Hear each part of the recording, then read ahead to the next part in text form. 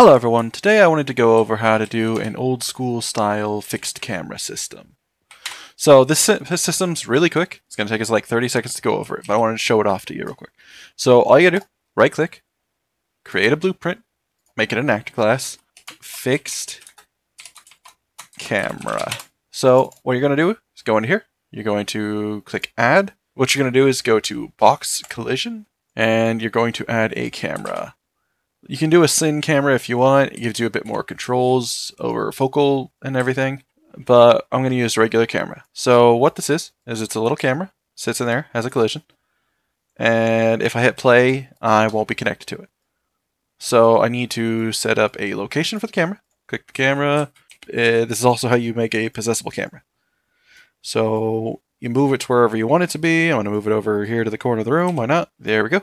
And with an angle, we can align our box, make it grow to the size of the room, and voila. All right, so first things first, we need to create a function. So go to my blueprint, go to your functions, create a function, name it whatever you want.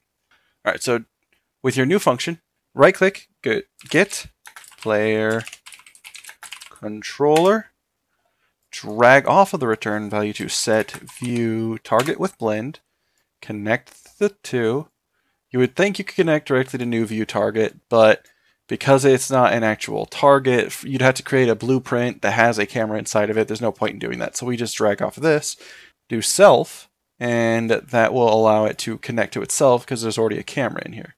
Then we hit compile. We want to get this new function named camera fixed. And then if we go to the original construction script, I mean, sorry, if we go to the event graph, we can click our box, we can scroll down to on component begin overlap, click the plus, drag off of it, and we can do, you can type in cam, camera fixed, and that will activate it. So what you're going to need to do is if you want a set area to be where it starts every time, you'll want to make a du duplicate blueprint. So if I right click this and duplicate, I can go into it and I can connect event begin play to this as well. If you want to be able to set it up to where whenever they save the game, you're going to have to create a whole save system and save which one is active at that current time.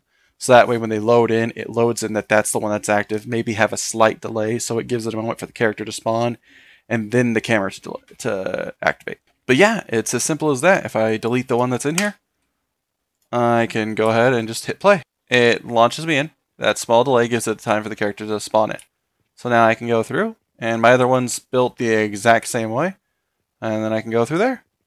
And then you just set it up to where your boxes are where you want them to be, and you align the cameras where you want them to be. And then you just use your set, have the boxes to where every time you enter the next area, they load in through. But yeah, that's how you set up the camera system, a fixed camera system for old style games. Hope you all enjoyed the video, hope you learned something, and hope you have a nice day.